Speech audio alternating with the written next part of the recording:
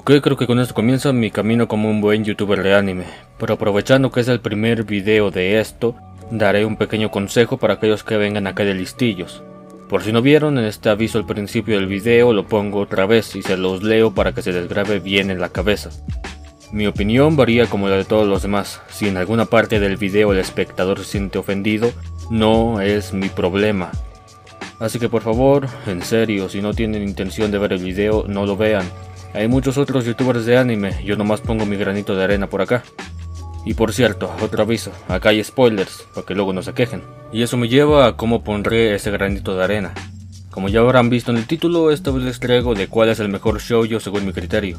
Cosa que haré con los demás géneros temáticos y los normales. Además de que muy posiblemente lo haga también con las demás demografías, tipo Josei o Kodomo. Pero Seinen y Shounen no porque estoy completamente seguro de que nada más vean los títulos me va a caer la de Jesucristo en el monte sin siquiera haber visto el video. Para esto tomo en cuenta algunas cosas. ¿Qué es un shoujo y a qué se refiere específicamente? ¿Qué criterios cumple dentro de esta categoría que son acertados? ¿Qué tan bueno es sin tener en cuenta la demografía barra género según corresponda? ¿Qué tan buenos son los personajes y su desarrollo si es que hay?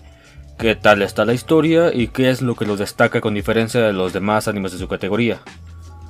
Es lo más simple y lo típico, lo sé, pero yo creo que es lo más adecuado para este tipo de cosas. Hay que ir a lo seguro y no irse por cosas demasiado específicas. Que también les digo, el hecho de irlos clasificando como el mejor en cada categoría ya es bastante específico en realidad. Pero bueno, vamos a lo que nos importa.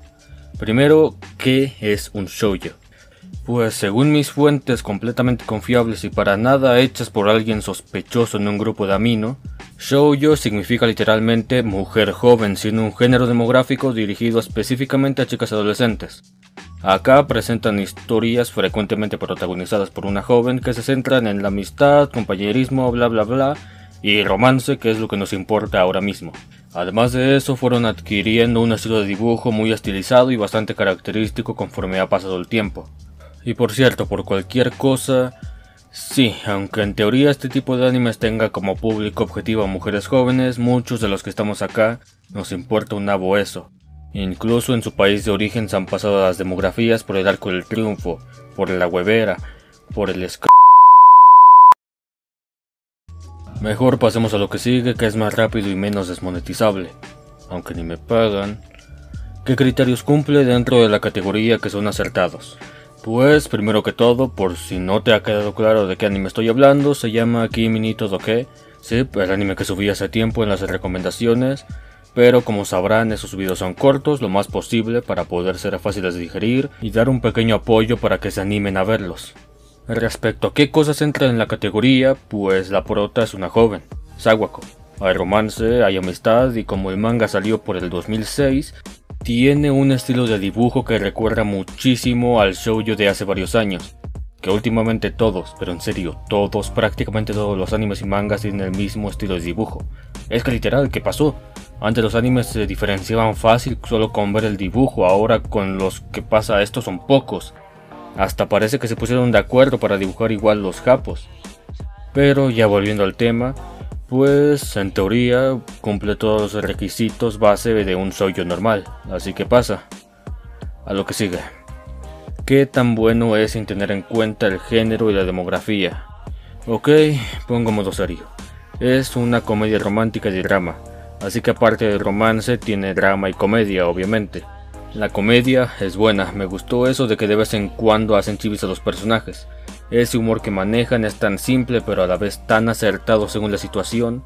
Y sobre todo lo que creo que alza bastante este aspecto en el anime es el profe Pin, el desmadre personificado, un sentido del humor único gracias a ese ligero narcisismo que caracteriza a este personaje, pero que en ciertos momentos dice frases que no van para nada con su personalidad habitual y que sorpresivamente resultan un tanto profundas y que te hace reflexionar y luego sigue con lo suyo como de costumbre.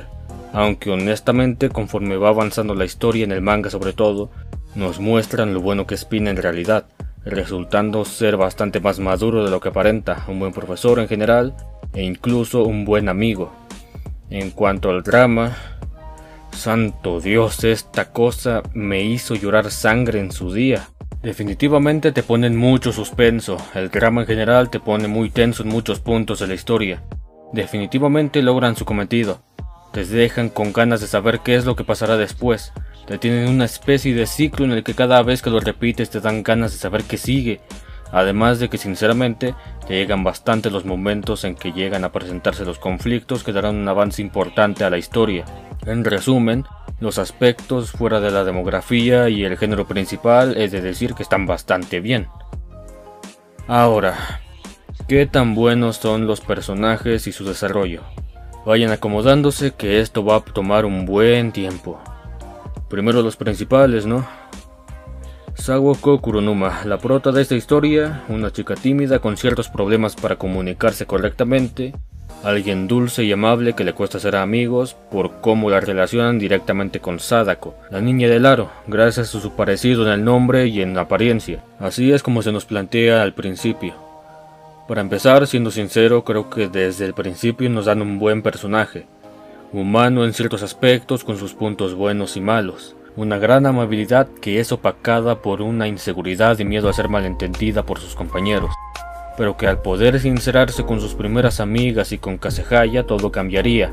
A partir de allí tiene una motivación de sus amistades para poder expresarse mejor, además de ser una buena ayuda para esto pero no es algo que pasa de un día para otro. En todo lo que dura de la historia, que son los tres años de preparatoria, va avanzando de a poco, pues en algunos días o meses no cambia una persona, sin excepciones, agregando cierto realismo a su desarrollo, que además de tener cierto avance en ese aspecto, también lo tiene en cuanto a sus verdaderos sentimientos. Comienza a desarrollar ciertas características propias de un adolescente enamorado, tanto las positivas como algunas negativas, pero estas en menor medida. En el manga, por cierto, esto se corrige en cierta medida, pues al haber cierta confianza entre ella y Kasehaya, en un punto de la historia llegan a sincerarse el uno con el otro, llegando a un acuerdo mutuo y a tener una de las mejores relaciones amorosas, si no es que la mejor entre los animes y mangas que yo he leído hasta el día de hoy.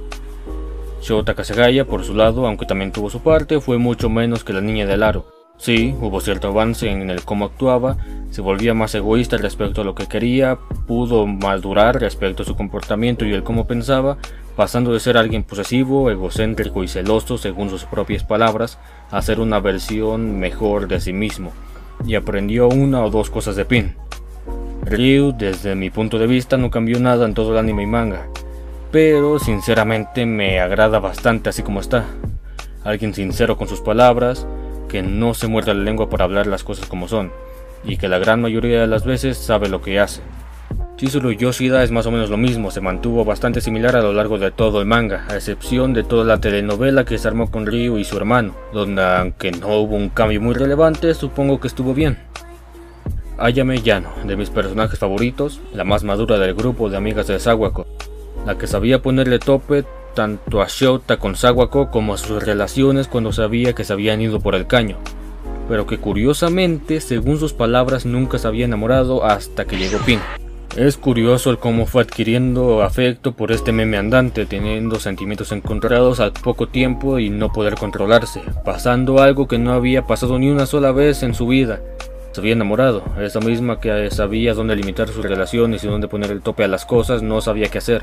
Estaba dudosa de sí misma, quería confesar sus sentimientos a pesar de que sabía perfectamente la respuesta que recibiría, pero por eso mismo no lo hacía, por el miedo al rechazo, cosa que no había pasado ni de broma antes siquiera con Kento, su anterior pareja con el cual tuvo cierto avance para poder avanzar como persona, dejándonos bien en claro que a pesar de que lo intentó, no pudo continuar por sus inseguridades y el miedo por sus futuros distantes, pidiendo perdón cuando rompen si no mal recuerdo. El rechazo de Pin, aunque le dolió, le ayudó para poder sincerarse con sí misma, para poder tener en claro lo que significa el amor.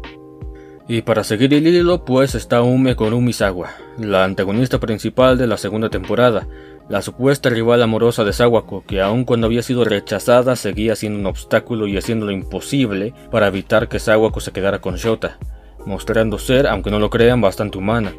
Sí, así como lo escuchan, la envidia, el orgullo, los celos, Cosas malas en una persona, pero humanas.